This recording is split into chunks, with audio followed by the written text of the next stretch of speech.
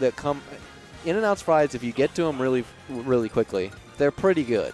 I'm not gonna say they're like, you know, So the faster you eat them, the more bearable they become before you realize they're terrible.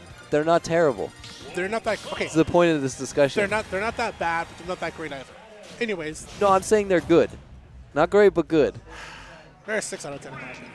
Okay, so I need to clarify a few things that I said that were incorrect about this character. And by this character, I mean Wolf. Um, Charlie King, of course, uh, huge Wolf enthusiast. You make it sound like it says it on his Twitter bio, Charliedaking, Smash player, Wolf enthusiast. um, but uh, I said that uh, Wolf has is his side B is similar to Fox and Falco's illusion, and it is, but it doesn't actually have the hitbox travel behind it.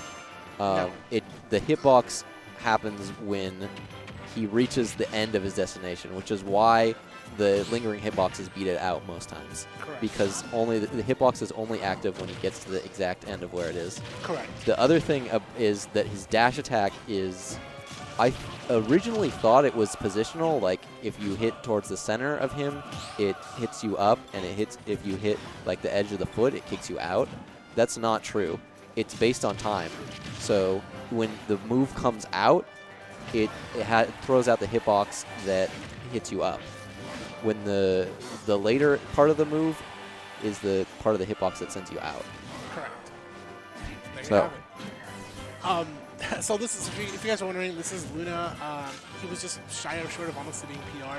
He did take a lot of big names last season, uh, players like Tru4 and uh, Pape. But unfortunately, like in the grander scale of things, there just weren't enough entrants to actually get this man PR. But had there were been enough entrants, Luna most definitely would have been probably PR. Uh, he is moving to NorCal at some point, which he has stated before, so he's definitely one of those threats that I tell people like he's not PR, but if you recognize the name, I definitely allow you to proceed with much, very much caution, Why do we lose so much talent to NorCal? I don't like it, dude. uh, Silicon Valley. People, hey man, people move over there to NorCal. Real talk. It's getting too expensive here in SoCal. Anyways, Charlie with the forward air and the quick side B, like I said, the hitbox does start at the very ending of Wolf's destination, so he's able to confirm that into that option, sending Cloud upward. The one thing I'm gonna tell people when you fight Charlie is you're gonna have to get ready for those Twitter combos that you're not really used to seeing, and Charlie will make them happen because he knows which one's working, which one's dying. I like it. He tried to go for a nair off the stage, but the thing here is he kind of stops himself, and Luna tried to call him out with the side B. Unfortunately, it wasn't enough. The side B also allows Cloud to stall himself at that position at the ledge, so it'll buy him enough time to try to come back on the screen. You know, something I've noticed so far, um, possible I missed this, but I don't think I've seen Charlie get hit by a single um, Back air. up B out of shield. Um, Charlie's pretty good at spacing, understanding like those options out of shield, right? Especially like that's why I tell people like if you fight your opponent, your uh, speak of the devil, Yeah, curse.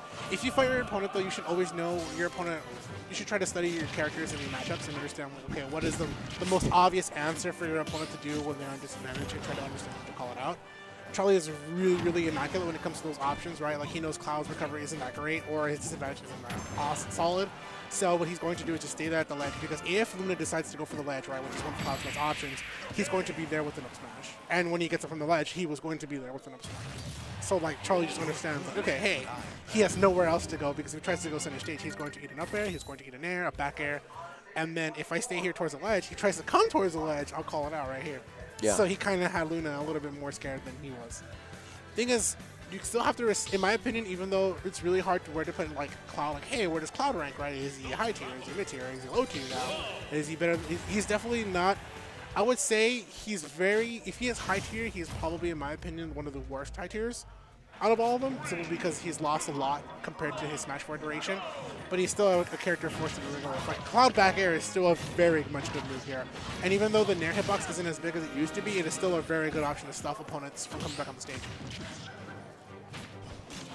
Nice. So we do see him go for the stall a little bit with the first hit of cross slash. It does stall you in the recovery as well, just as as it is for going for the cross slash. Okay, landing fair. Yeah, there's another move. I don't. I think maybe you missed out on your explanation there. What makes Cloud good is, is fair is actually a really good spacing tool. Mm-hmm. Spacing tool. I feel like it wasn't used that much in Smash 4 because Cloud had so many other great options, but it, it was still in its own right. I mean, it just shows you how busted this character was in Smash 4. Yeah. That he has one of his best moves in this game is exactly the same. Yeah, for forward air is pretty good if you space it properly. If you're not spacing it that well, like you will get punished for it. Nice, goes for the Climhazzard, in the right position to come back on the ledge. I think few characters also have a move like that with, that spikes you and the hitbox comes out like directly in front of you and is disjointed. So that was really tough for Luna because he had limit. He could have gone for up B earlier to survive and try to come back to the ledge here, but he wanted to really just come back on the stage. Sometimes I tell people uh, what separates some of the Cloud mains is when they know when to execute limit and when it's better to burn limit than to try to hold on to it. At that situation, I felt like if Luna had burned limit to try to come back on the stage would have been much better than trying to take a wolf forward tilt on losing the stock and then putting Charlie up in the deficit here.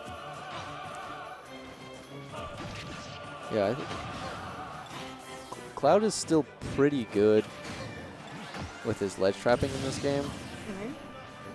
Um, but we haven't seen too much of that from Luna.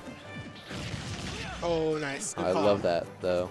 I'm telling you, right? You have to know when to burn limit. Sometimes you get a little too greedy holding on to it. Compared to Smash 4, where you, the growth was a little bit different in Yeah. this game, um, it's still, if you have limit and you only have 15 seconds of fame with it, you should still not be afraid to burn it because your chances of getting another limit charge or just getting limit in general is still on the board, rather than just losing a stock. Or getting edge guard and taking too much percent to lose a stock. Well, it's great if you can get limit while you're in advantage like this because you're able to cover a lot more space and be more Mhm. aggressive. But when you get it in disadvantage, uh, like uh, Luna did right there, I, I think it was earlier. I think that was a good, really good choice of him to just burn it to to throw out that hitbox. Yeah. Goes for an air. Oh, he went a little bit too low. He's, Oh, he's, he's good. He's gonna good. He's good. He's good. No, he's good. He's good. Uh, I Yeah, he Wolf has that little bit of extended range where he's still actually able to actually grab the, the ledge. Its I- recovery is not that great, but it's still able to grab ledge. And that's the thing what Luna needs to watch out too. Um, when Wolf comes back on the stage, especially for Charlie, right, he's really used to just tossing out his opponents for uh, getting a little bit too overzealous, especially at the ledge too. Like Luna was in that perfect space to get hit by the side B, and he caught Luna kind of going for an empty hop. Oh, he got crossed up. bear. Yeah, Nice. Charlie with great DI, still surviving. Mm, he picked the normal get up, yeah. kill him. Yeah. F tilt, back air, let's see, forward air. There's still really good kill options at the ledge. Definitely.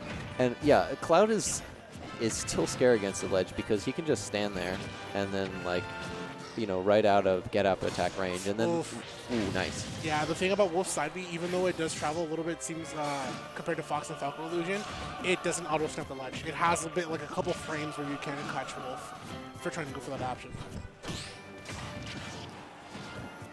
Yeah, so but when you're at the ledge a against Cloud, it's like what do you do? You can roll, you can you can like your best option is maybe jump, but you know, being above Cloud is so bad and Yeah. back air. So you have to worry about things like